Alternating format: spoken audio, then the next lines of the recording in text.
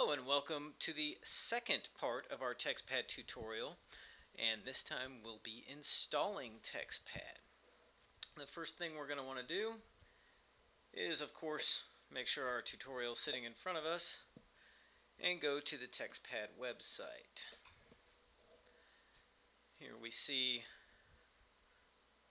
a very simple home page. We're going to click on downloads and if we scroll down, this is the one that we want in all likelihood, unless you want the zip file, choose the executable. I'm going to use just that middle link right there. We'll go ahead and run this. It is super quick. Don't worry about that little warning there.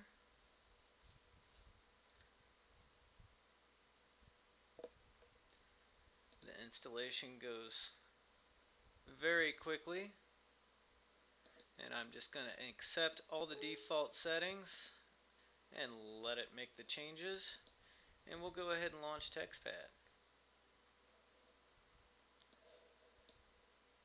Now TextPad is good at giving us uh, little pop-ups when we first open it uh, but they do not interfere with the environment. Uh, once you open it up and get that pop-up it will leave you alone. Okay. So notice on our tutorial that there's some explicit instructions uh, about finding the compile and run commands in the tools external tool tools menu. Uh, unfortunately that doesn't make a whole lot of sense unless you've already compiled a Java pro program before. So let's take a look at what that means.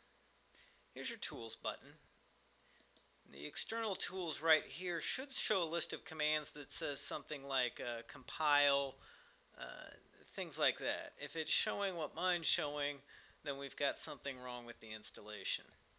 And that's not a surprise since I installed this on Windows 7 64-bit that it's having a few issues. Hopefully yours already says, uh, has the, the three different commands here, but if it doesn't, we need to fix that. So configure, preferences. We'll go down to tools. And we want, whoop, I should not have expanded that container. We just click on the container. We click add and we want this right here. We want this Java SDK commands. And voila, we have compile Java, run Java application, and run Java applet. Superb. Okay. We're going to click OK to accept that. And just to double check, we'll go to our external tools and there are our other commands sitting there.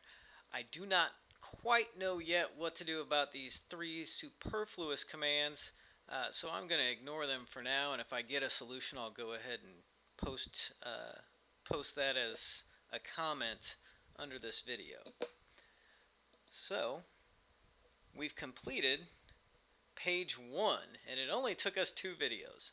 Now, uh, for the next part of this, you will need a USB drive.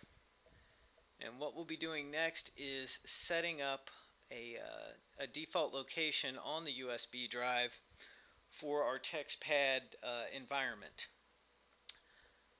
So go ahead and insert your uh, USB drive and we're gonna first of all learn a kind of a different way.